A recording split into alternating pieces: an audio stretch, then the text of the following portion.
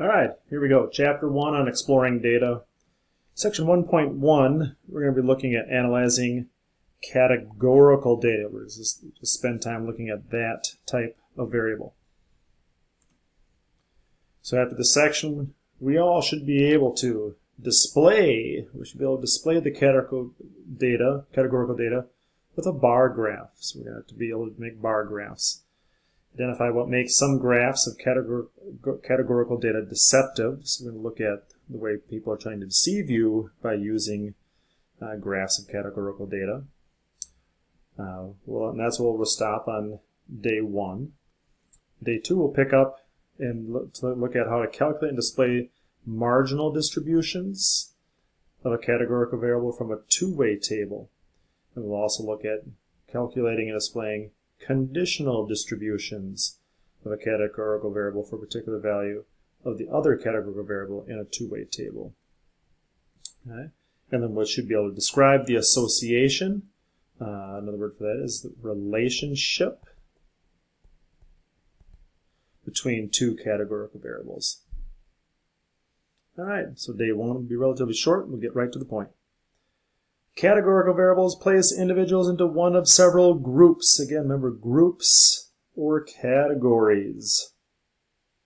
Okay, so we see down here below, it's the same data. We got a frequency table down here uh, that just lists the counts of each of these different types of formats of radio stations, where this is a relative frequency table, and the relative frequency table displays percents.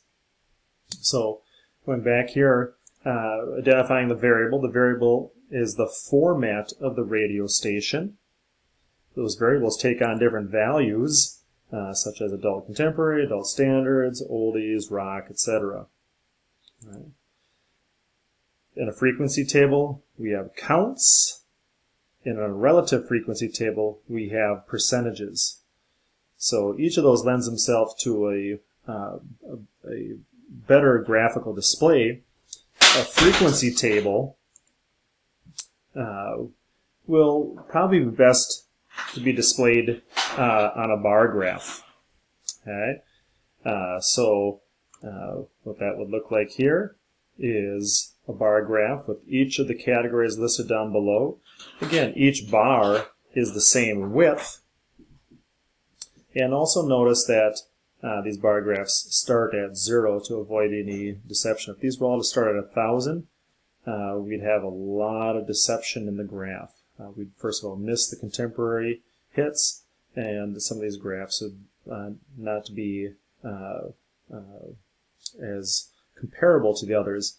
In fact, the adult standards compared to the adult contemporary, if we just cut it off at a thousand, it would look like this this graph, this bar right here would be twice as much as what this is. But it's really not if we started at zero. So again, make sure uh, on these bar graphs uh, that the y uh, axis starts at zeros to avoid deception. Um, in a relative frequency table, uh, probably the best display for that is going to be your pie chart, where we just take each of the different percentages uh, and make them a slice of pie on our pie chart. Uh, Excel does a very good job of this. Um, another spreadsheet software does a really good job of this as well too. So we won't be doing this by hand. Uh, if we had to, we'd have to calculate uh, what that degree is here and take 15% of 360 degrees to get that angle and then get our protractor out and measure these different angles. So uh, we won't be doing that. Uh, we'll just be using Excel uh, or um, in most cases, just doing a rough estimate uh, in our homework. Okay, so bar graphs, or graphs, good and bad. Bar graphs compare several quantities by comparing the heights of bars that represent the two quantities. So again, as I spoke earlier, our eyes react to the area of the bars as well as to their height. So again, uh, make sure when you draw a bar graph, make the bars equally wide. And I'll also say to Sue to make sure that you start uh, the y-axis at zero to avoid some of that deception uh, with the, the heights of the bars. Um, those who uh, read the USA Today paper, it's always tempting to replace bars with pictures. They're called pictographs. They look prettier. uh, but they um, don't always represent the same area uh, as we read a bar graph. So um, do not do, don't do it. Don't do, uh, use pictures for graphs, which again are called pictographs. Okay. So two important lessons to keep in mind on lesson 1.1 day one. Beware of the pictograph and watch those scales.